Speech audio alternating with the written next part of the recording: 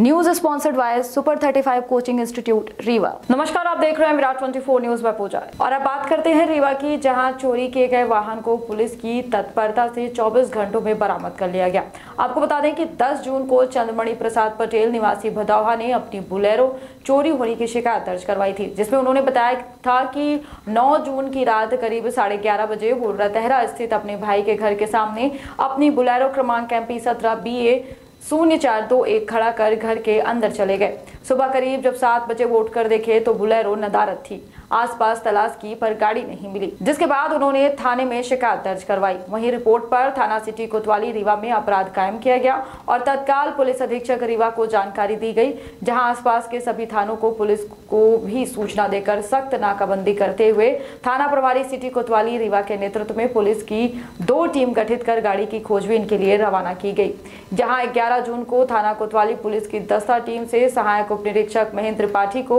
मुखबिर के ज़रिए सूचना मिली कि चोरी की गई बुलेरो रीवा से मनगवा जाने वाली रोड में दिखी है, जिसकी सूचना तत्काल वरिष्ठ अधिकारी एवं थाना प्रभारी रायपुर को दी गई। सूचना के बाद रामनई के पास बुलेरो गाड़ी को रोकने का प्रयास किया गया, जिसके बाद गाड़ी में बैठे लोग पुलिस को देखते ही वाहन को छोड़कर अंधेरे का फ़ायदा उठाते हुए भाग गए। जहाँ चोरी की गई बुलेरो को 24 घंटे में रामनई के पास से पुलिस ने बरामद कर लिया है, वहीं बदमाशों की खोजबीन भी की जा रही है।